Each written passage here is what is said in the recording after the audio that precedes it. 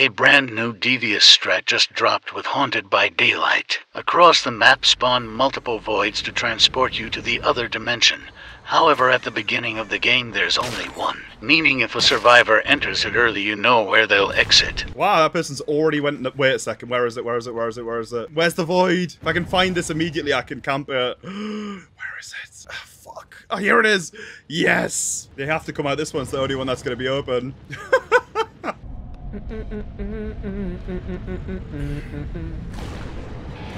oh!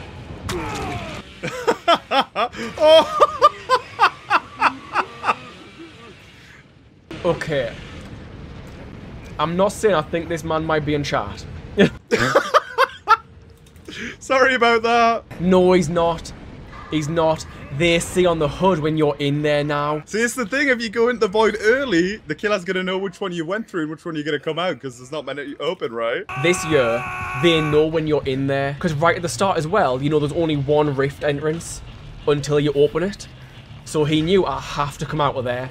That was actually just a really good play. Later in the match, there's more portals open, so it's more of a gamble to guess which void they'll exit.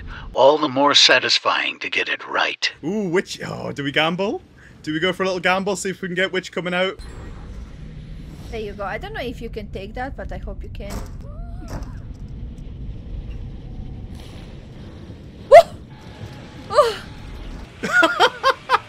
oh no! Yes!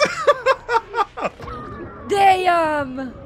Oh my god, that was fucking scary. This skin on Sable is pay to lose for using the uh, smoke things. I could track her throughout the, the hair there.